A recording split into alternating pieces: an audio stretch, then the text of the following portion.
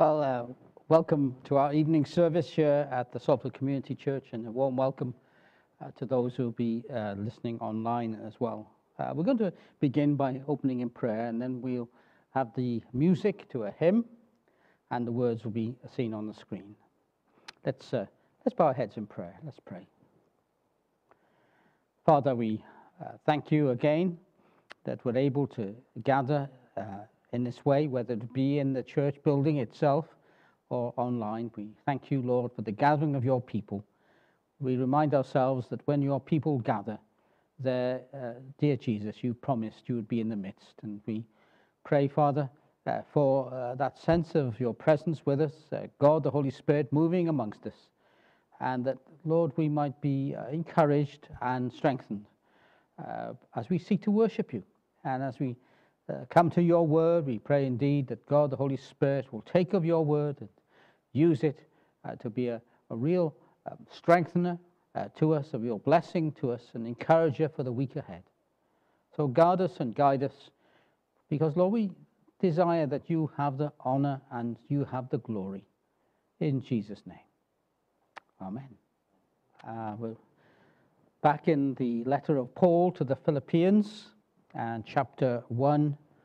And we're starting at verse 27 at the end of the chapter, and we're going to be moving into chapter 2 and verse 11. Last uh, Sunday evening, we were looking at verse 27. Um, originally, I said that I was hoping to uh, give one sermon from verses 27 to verse 30. Uh, we're, on, we're, not going very far tonight, we're only doing verse 28. Uh, we will eventually get out of uh, chapter 1, I'm sure, uh, sometime uh, this side of Christmas. Uh, but it's Philippians chapter 1 and verse 27. And so let's hear the word of God as we remind ourselves that Paul uh, was telling the Christians at Philippi about his situation, which was in prison, and the possibility that he might be executed or the possibility that he was going to be spared. But whatever way, he was content that God's will will be done. And so he says to the church in verse 27 Only let your conduct be worthy of the gospel of Christ, so that whether I come and see you or am absent, I may hear of your affairs, you stand fast in one spirit, with one mind, striving together for the faith of the gospel and not in any way terrified by your adversaries, which is to them a proof of perdition, but uh, to you of salvation, and that from God. For to you it has been granted on behalf of Christ not only to believe in him, but also to suffer uh, for his sake, having the same conflict which you saw in me and now here is in me. Therefore, if there's any consolation in Christ, if any comfort of love, if any fellowship of the Spirit, if any affection and mercy, fulfill my joy by, by being like minded, having the same love, being of one accord, of one mind. Let nothing be done through selfish ambition or conceit, but in lowliness of mind. Let each esteem others better than himself. Let each of you look out not only for his own interest, but also for the interest of others.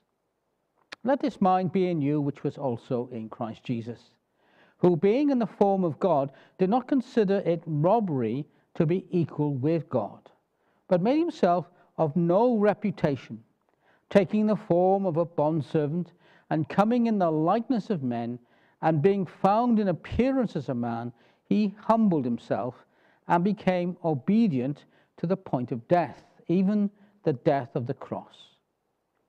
Therefore, God has God also has highly exalted him and given him the name which is above every knee, that at the name of Jesus every knee should bow, of those in heaven and of those on earth and of those under the earth, and that every tongue should confess that Jesus Christ is Lord to the glory of God the Father. Well, may the Lord add his blessing to that reading from his precious word uh, this evening. Well, let's come to prayer. Let's pray. Father, on this uh, rather cold evening, we praise you and thank you uh, that we're able to give a witness and a testimony uh, to the surrounding uh, streets and area in uh, which this church is put. Thank you, Lord, that people, as they walk by, or people sit, looking from their homes, will see that the lights are on in the church, and that the people who love the Lord Jesus Christ have gathered to worship. And we do pray, especially, Lord, for your help in worshipping you. We're very conscious, Lord, of our own frailties and our own weaknesses our own inadequacies. Uh, Lord, we want to worship you with a, a full and glad heart. Uh, we want to worship you so, such that the praise of your people will come to you as a sweet smelling savor. But we're also very conscious, O oh Lord, that we need the help of the Holy Spirit to do that. We pray that He would be the perfecter of your people's prayers and your people's praise and worship this evening so that we can give you all the glory and all the honor. Uh, we pray, Father, that the Holy Spirit might indeed be uh, moving amongst us, uh, that He might be instructing our minds, but also speaking to our souls, our hearts, of very precious things. Things that will encourage us, things that will do us good, and especially about our Lord Jesus Christ as well. Father, we praise you and thank you for the Holy Spirit who fills his church and did so at the day of Pentecost and continues to do so. We thank you, Lord, that he is the comforter, the paraclete that Jesus promised. And we praise you also as we remember that the Lord Jesus Christ, our Savior, your Son, is seated at your right hand and is praying for us. So help us then, Lord we pray especially in these uh, dark days in which we live, and they seem to be uh, difficult days for the gospel and for your church, that the reality of yourself will be more prominent amongst us. We might know with a certainty that you are God and there is none other. That we might know uh, with a certainty that there's only one way uh, to heaven and it's through Jesus Christ, uh, your Son, who said that he was the way, the truth, and the life, and that no one could come to the Father except through him. Father, strengthen us in the days ahead, this week ahead especially. Lord, there may be many things that will come and test us and try us. There may be many things that will bring sorrow and sadness to us. But we pray, Lord, for your presence to be alongside us, to give us the comfort and to give us the strength and give us uh, the ability, the enabling uh, to walk in the light of your word in the world in which we live. Lord, we think uh, these days of the much opposition that seems to be against your true church and against the gospel, and how so many people seem to want to ignore you, uh, care nothing for your Son, the Lord Jesus Christ. Consider the Bible perhaps as an ancient book that should be left on the shelf, and that your people perhaps are strange people and not worth considering. But Lord, we pray that the reality that we know of you and of our Savior Jesus may be a reality that you will once more reveal upon this world in which we live, so that even uh, the most ungodly will declare that God is here. And that's what we desire, Lord, that this uh, world in which we live, this uh, darkened world, uh, darkened in terms of a, of a faithlessness, might know something of the light of the gospel shining out.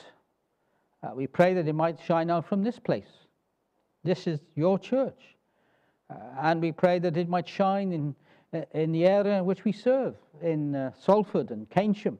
We pray for other gospel churches also shining, shining forth a gospel light, and that it might indeed penetrate into the souls, into the minds of men and women and boys and girls throughout our land. We might hear of people coming to faith in Jesus. becoming true believers in Christ. To that end, Lord, we also pray as a church, a fellowship here, that you would open doors for us, doors of effective ministry and service, where we can proclaim Christ, where we can lift the Lord Jesus Christ high, and where people can be drawn to the gospel and find for themselves Jesus, Savior and Lord of their lives. And in this, Lord, we give you praise and ask your blessing upon our prayers. In the name of Jesus. Amen.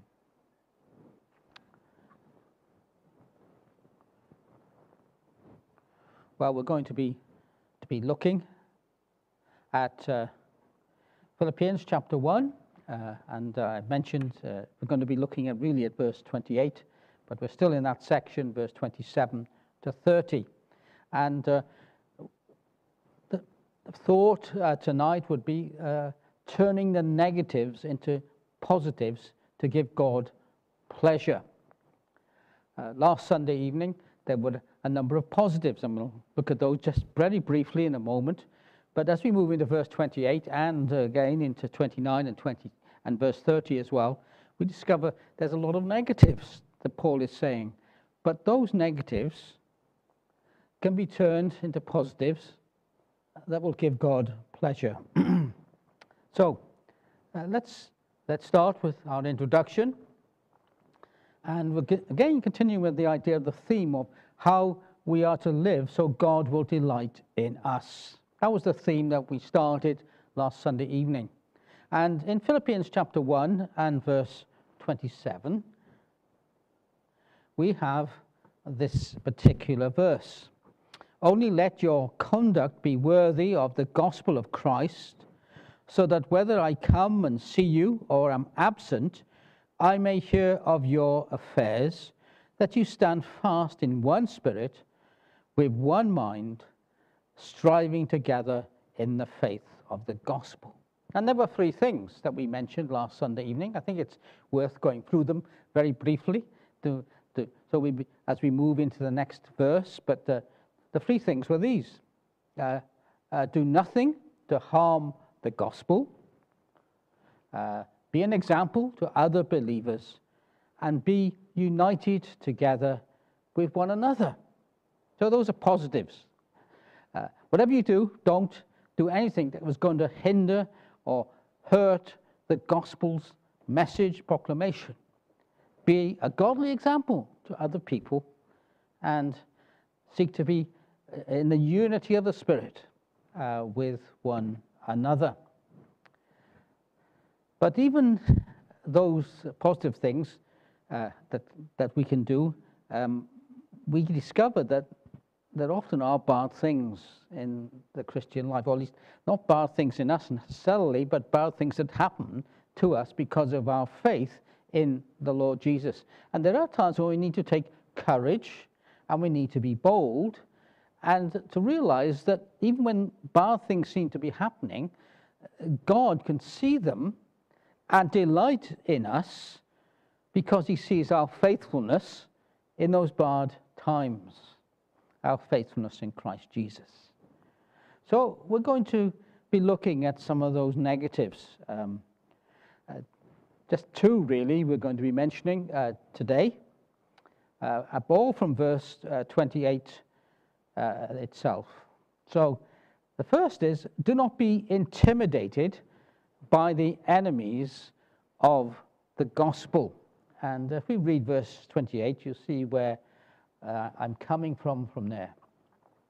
There we read in verse 28, uh, and not, says Paul, in any way terrified by your adversaries, which is to them a proof of perdition uh, we'll get to that word perdition a little bit later on. It's one of those words you don't tend to use in your vocabulary from day to day, uh, but we'll get to that in a moment. But to you of salvation, and that from God. So, uh, what I want to emphasize here is that word that the New King James uh, translates as terrified. Not in any way terrified by your adversaries. And as we put that heading up, it was do not be intimidated by the enemies of the gospel. Now, that word terrified in other translations uh, is trans, uh, translated as frightened. Don't be frightened by the enemies of the gospel. Another translation has the word don't be intimidated. Uh, it's that word intimidated that I want to, to use for our heading. Uh, if I can go back and just remind you what the heading was do not be intimidated by the enemies of the gospel. Now, the reason why I chose intimidated is that if we were in another part of the world, perhaps uh, in some uh, Muslim country or uh, some other country which was not uh, uh, in any way, shape, or form anything like a, a, a Christian, then we might indeed be terrified and fearful. Fearful of being in prison, like Paul, terrified of our lives, like perhaps it was, was some of the Philippian uh, uh, Christians might well have been suffering. But in our Western culture, in our Western world, I think it's more a case of being intimidated, intimidated by uh, powerful people, perhaps. Uh, and we, we must not be intimidated by the enemies of the gospel. But intimidation is real, fear is real, being terrified is real. Uh, I'm reminded of the disciples, you know, the disciples in between that time when the Lord Jesus Christ has been crucified on the cross and the day of Pentecost, uh, there was a real fear.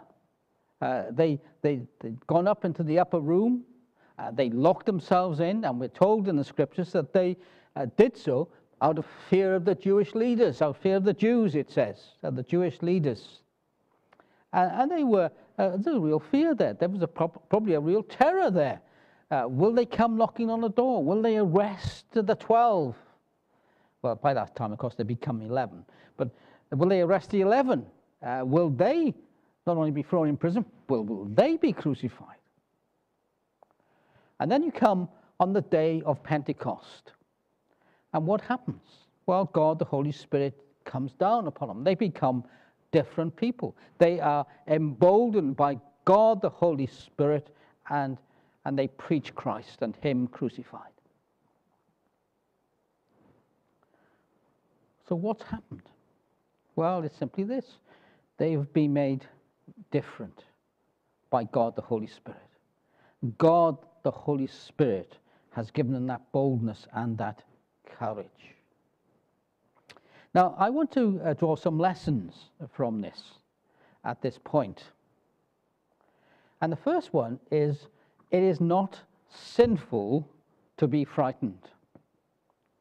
Because sometimes you know, if you're um, frightened, terrified, or intimidated uh, by people, uh, you, you, can, you, you, can feel pretty hard on yourself. You can be pretty hard on yourself. It's all my fault. I'm a very poor, weak little Christian that I should be so frightened, should be so terrified, so intimidated by, by the things of the world. But the world's against the church. The world's against Jesus. The world's against believers. The world hates us, as Jesus said uh, it would. And our own human nature, which is a fallen human nature, can be terrified and frightened of all kinds of things, like spiders. How many of you are frightened with spiders? Well, they're only a small thing. They've got eight legs, and that makes them a bit different. But it's only a small thing. But there's nothing wrong in being frightened. There's nothing wrong in being terrified of a spider that's crawling along on, on your bedroom floor. And perhaps we, we've all had experiences of, uh, of, of, being frightened, uh, perhaps even terrified, certainly intimidated uh, when we've gone perhaps for a, a job interview. Or uh, in some cases, and this happened to me a few times, are going to see the headmaster at school because you've done something wrong. Now, that can be really frightening, can't it? Um, and you go along, don't you, and you're not feeling very confident. You think you're going to have a bit of a problem. You're feeling weak, you're feeling vulnerable, you're feeling the pressure that's on you.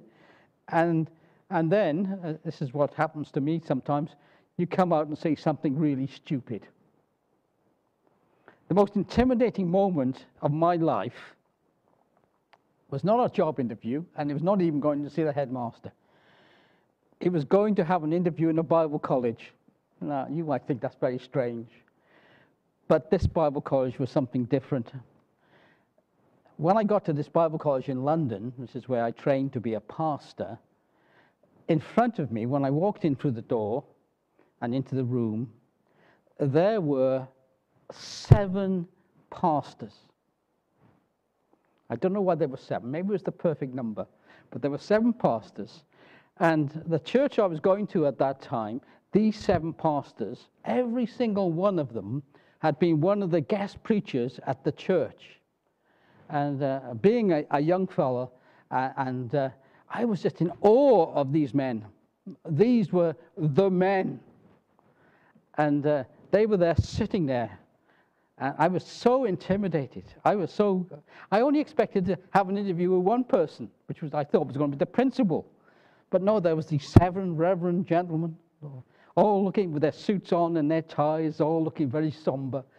I, I should have realized they really were on my side and they really would like to have me come to their Bible college, but I really thought the opposite that they desperate, they were going to have me at their Bible college and they wouldn't want someone like me. And the very first question they asked was this What, have, what, what Christian books have you been reading lately? And you know what happened to me? Mind went blank. I couldn't remember a single book that I've ever, Christian book, I had ever read for about two or three minutes. And one of the reverend gentlemen uh, said to me, um, I'm sure you must have read something, he said. and, and, and, that sort of broke the ice a bit, and I was able to, to answer the question properly. And, and I sort of got over it. That was the most intimidating time I had, I've ever had in my life. You know, I, I can face job interviews, I can face headmasters, but that was frightening for me. I think sometimes it's even worse when the opponents of Christ, when the enemies of the gospel become the intimidators. I can remember an experience when I was um, a student at university, and uh, people uh, knew I was a, a Christian, and the, the, man who was my supervisor for my PhD uh, knew I was a Christian. But I can remember uh, sort of trying to witness to him, and, and he said this, and he said, And I thought that you had more intelligence than that. And that just shut me up. it was the intimidation, you know. Uh, so there's nothing wrong uh, it's not sinful to be frightened or terrified or intimidated. That's part of our fallen human nature. So don't beat yourself up about that. But there's another lesson we can learn, and it's this remember that your Father in heaven is the Almighty Father. You know, some of these people who might be intimidating us might be very powerful people, but God is more powerful. He is the Almighty God. So people might have power on earth, but it's God who gives the power. Well, we can think of Jesus, for example, in the Garden of Gethsemane. At that moment when he's being arrested and the big crowd have gathered and they got their torches and they got their clubs, as we're told in, in the Gospels, and uh, the disciples are panicking. And Jesus says to, to them, uh, do you not know that can call upon 12 legions of angels? You know, he could be rescued if he wanted to be. Think of all those hundreds of angels that could come, could come to his aid. He had that power, didn't he? Or there in John chapter 19 and verse 11, this is where Jesus has been speaking to Pilate. And Jesus tells Pilate, but Pilate thinks he's got the power over life and death with Jesus, but in actual fact, Jesus tells him otherwise. You could have no power at all against me unless it has been given you from above, says, says Jesus. Well, a, a third lesson we can learn from that first point is this call upon the Holy Spirit for help. So instead of being fearful or terrified, or intimidated, and, uh, and, get, and beating yourself up about this, when you're feeling like that, which is a, a human natural reaction, call upon God the Holy Spirit to help you. God the Holy Spirit uh, emboldened and equipped the, uh, the apostles uh, and the people up in the upper room to go out and preach the gospel, despite the Jewish leaders and despite what people might have said. I've got a bigger title than I put on this third lesson, which was Call upon the Holy Spirit to keep you from fear and terror and to stop you from being intimidated by the world and by the devil. Because the devil loves to intimidate, the world wants to make us fearful and terrified. But you call upon God the Holy Spirit. Now, how do you, what do you do? What do you say to God the Holy Spirit? I think you just tell him.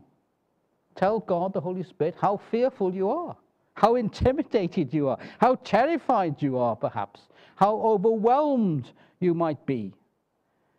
Uh, tell him that you are uh, fearful, that you might not be able to stand in, in a day of trouble, that you might bring shame uh, to the Lord Jesus Christ, that you might wound the bride of Christ, which is the church, that you might become an unfaithful servant of Jesus.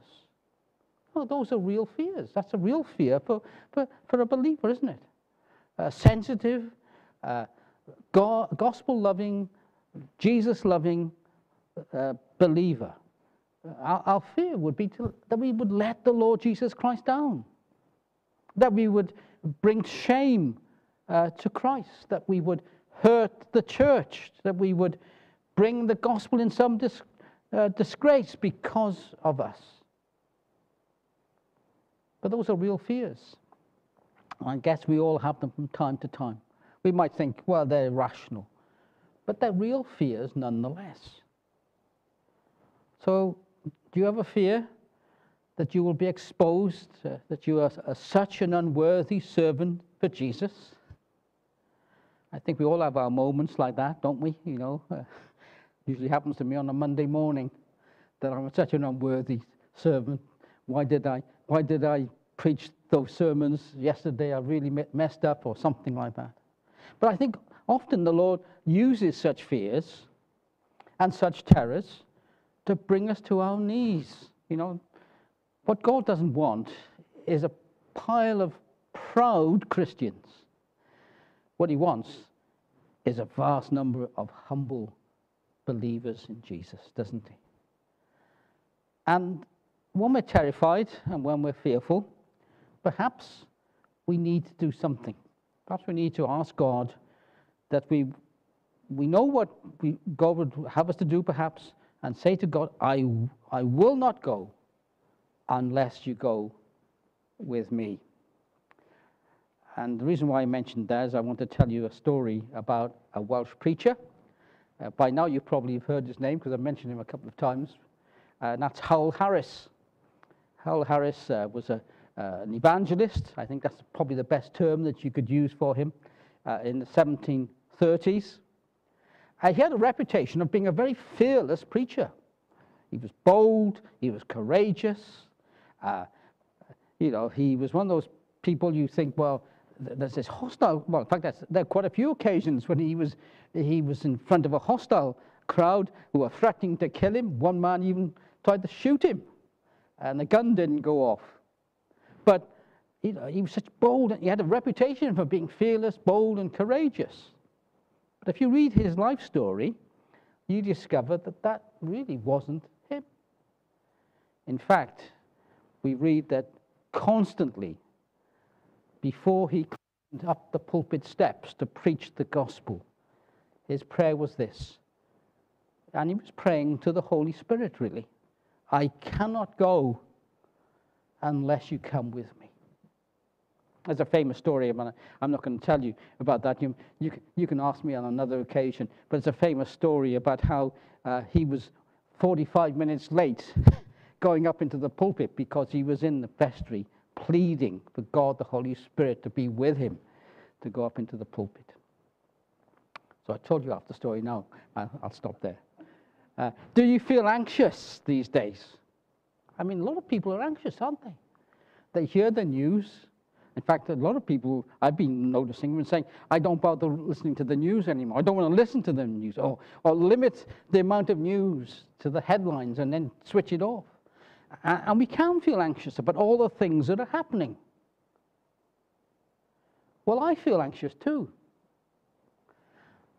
And I, I, confess before you that last week, I don't know why particularly, but I was feeling quite anxious about all kinds of things, and they were really small, little, trivial things uh, that were making me feel really low. Now, when that happened, I went to Philippians, chapter 4, and uh, verse 5 and verse 6. It's a great text if you're feeling anxious. Verse 6 Be anxious for nothing, but in everything, by prayer and supplication, with thanksgiving, let your requests be made known to God. There we are, God's word. Be anxious for nothing. Uh, but in everything, well, it's saying, give it to, to the Lord. Give your anxiety, give, you, give the problems that are concerning you, the worries, give it to the Lord. And I think that the last bit there with thanksgiving, that's, a, that's an important point, I think. Uh, with thanksgiving, let your request be made known to God. But that wasn't the verse that, that, that was the balm to my soul. It was the one before that, verse 5.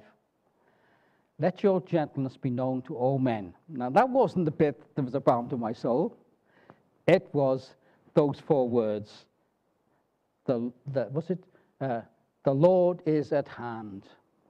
And uh, actually, uh, it's three words in Greek. And uh, probably uh, a better translation, I think, would be this The Lord is near. And I needed that. Anxious about all things, I needed to know the Lord is, is near. The Lord's long, alongside. Because sometimes we think we're carrying it all by ourselves, don't we? Uh, God is up there somewhere. And, uh, you know, he's not going to be bothered about my little problems and my little anxieties, but he is. And the Bible tells us the Lord is near. And it's been a great comfort to me. Well, let's move on to the second point uh, this evening. Uh, and that is standing firm in Christ is a testimony of the reality of Jesus in you. Let's go uh, to verse 28 again. So we'll throw that up. No. If I go back, I'll, I'll quote it. Actually, I'm going to quote it uh, in a slightly different translation. Because if you, if you look at verse 28 uh, in the New King James Version, I, I, I don't know about you, but I find I have difficulty with the English in that verse. Let me read the New King James, and then I'll read a slightly different translation.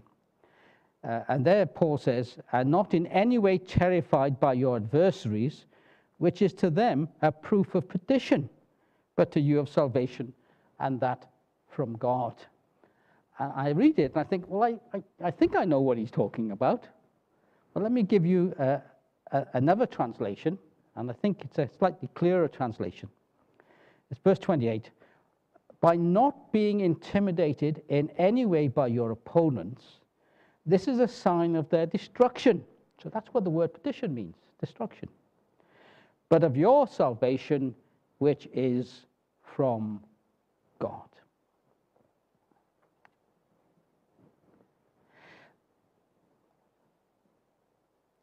What this word, this text is telling us is that if we stand firm in Christ, it will be a testimony to the reality of Jesus in you. It'll be a testimony to the fact that the world and others, uh, brothers and sisters in Christ, will see that Jesus is in you, that Jesus is real in you. And that's an important testimony, that's an important thing. But it also will uh, speak against the opposers of the gospel. Because as it shows the reality of Jesus in you, it will show the reality of their end without Christ, without Jesus. When you and you can only stand against the terrors and the intimidations directed at you by those who oppose the gospel when you're standing on Christ, you're standing in Christ's power, on Christ, our solid rock.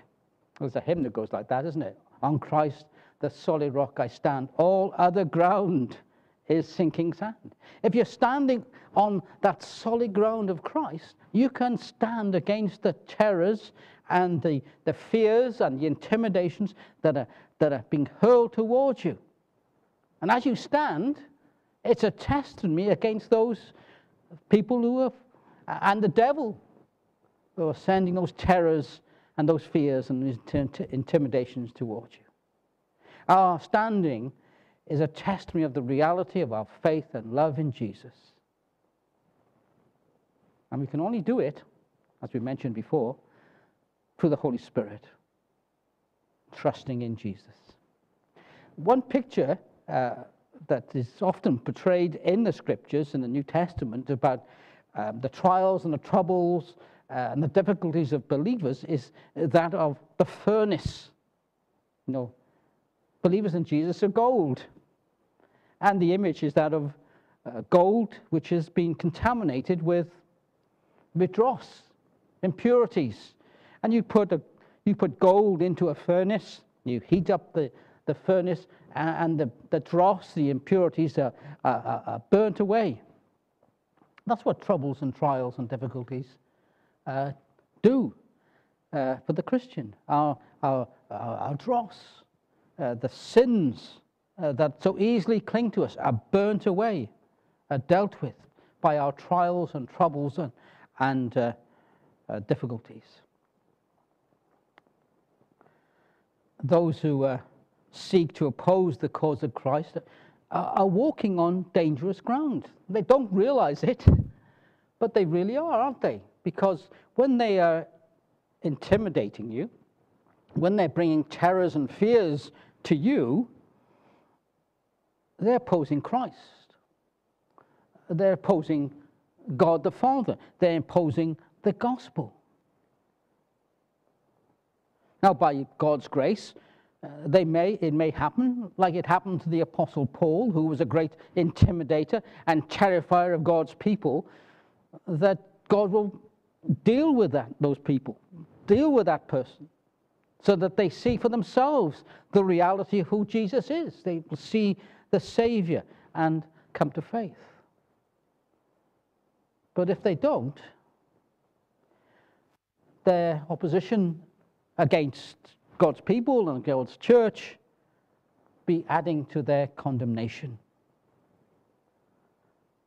So, what happens? What, what should we do, rather? What should we do? What should we do for those who are opposers to God's truth? What should we do for those who are intimidating us or, or trying to terrify us or trying to make us fearful or bringing us trouble and, and difficulty because we are believers in the Lord Jesus Christ.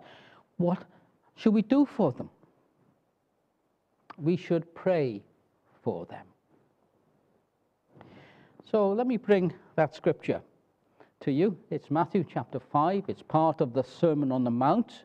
Matthew chapter 5, verse 43 and verse 44. Let me read it. Jesus says, You have heard that it was said, You shall love your neighbor and hate your enemy. I, I guess Jesus is quoting uh, the Jewish leaders on that point. Uh, the Jewish leaders really uh, had a number of enemies, you know, Samaritans and Gentiles, and they, that's probably what they were teaching in the synagogue. You know, love your neighbor, because that was in the Old Testament but hate your enemy. Well, Jesus says you shouldn't do that, really. He says in verse 44 But I say to you, love your enemies and bless those who curse you. Do good to those who hate you and pray for those who spitefully use you and persecute you. So, what does Jesus say about those who are opposed to the gospel, those who are in, intimidating us, those who are terrifying us, those who are fearful, fear, uh, bringing fear to us, those who are trying to hurt the gospel? Jesus says, pray for them. Now, that's pretty radical, isn't it? Uh, really. Well, let me give you an illustration of that. Um, I think I'm going to say I'm going to put my neck out here and say most people have heard of a man called Eric Liddell. I'm not sure you, you have. Good, well done. I'm glad about that because otherwise it makes, it, it, makes, it makes the illustration really bad of what. Eric Liddell, uh, there was a famous film about, it, about him, wasn't it? And he was part of that film. It's called Chariots of Fire. Uh, I remember going to see it, and I thought it was quite a, quite a good Christian, well, it wasn't supposed to be a Christian film, but it was a good Christian film uh, for, for the secular world, I thought. And one of the heroes in that film, of course, was this man, Eric Liddell. He was a Christian, and he was standing upon scriptural, biblical principles, and we, see, we saw that in the film as well. Uh, and he was an athlete. Uh, he ran in the Olympics, I think it was 1924. But perhaps what the film didn't really make uh, make much of was the fact that after he uh, had ran in the Olympics, he went off to be a missionary in China. And uh, when he was a missionary in China, uh, the Second World War happened. He was uh, captured uh, as a prisoner of war by the Japanese who came and invaded that part of China. And he was sent to a notorious prison camp. And there in that notorious prison camp, uh, who, uh, uh, well, I've, I've seen the name of it, but I can't pronounce it. Uh, in that notorious prison camp in China, he became sort of the kind of unofficial pastor, unofficial chaplain to the prisoners.